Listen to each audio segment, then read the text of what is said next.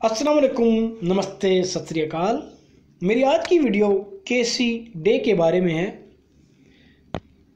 आपका पूरा नाम कृष्णा चंद्रा डे था।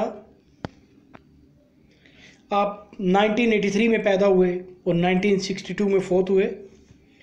आप म्यूज़िक डायरेक्टर थे, म्यूज़िक कंपोज़र थे, म्यूज़िशियन थे, सिंगर थे, एक्टर थे और म्यूज़िक टीचर भी थे। और आप एस डी बर्मन के उस्ताद भी रहे। आपके वालिद साहब का नाम शिव चंद्रा डे था। उन्नीस सौ नाइनटीन सिक्स में जब आपकी उम्र चौदह साल थी, आपकी नज़र चली गई और आप मुकम्मल तौर पे ब्लाइंड हो गए। आपने मुख्तलिफ़ थिएटर्स के लिए काम किया और आखिरकार आप न्यू थिएटर कलकत्ता में शामिल हो गए और वहाँ आप 1940 तक रहे और आपके जो बेहतरीन सॉन्ग जो अब तक याद किए जाते हैं, वो कीर्तन सॉन्ग्स हैं। और आप अक्सर गाया करते थे राजबारी जलसा में।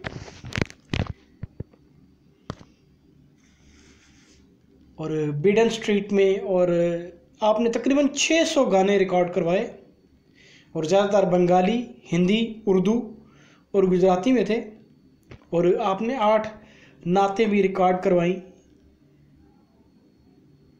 और आपकी गाने जो देवदास के लिए हैं, उनका हिंदी वर्जन, वो भी आपने गाए।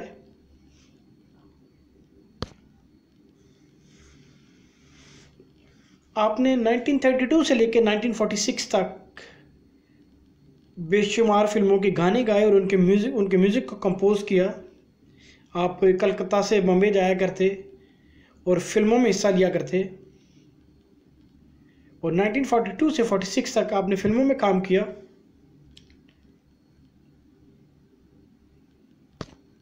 और आपकी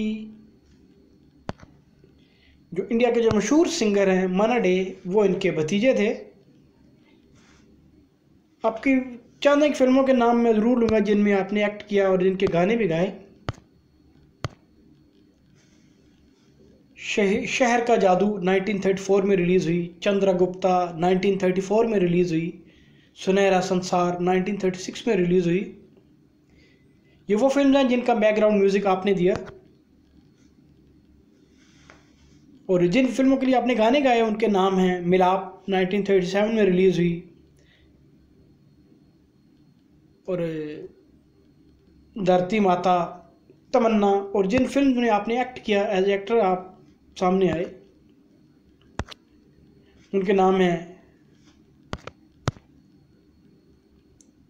चंदीदास 1932 में रिलीज़ हुई, मीरा 1933 में रिलीज़ हुई माया 1936 में रिलीज़ हुई।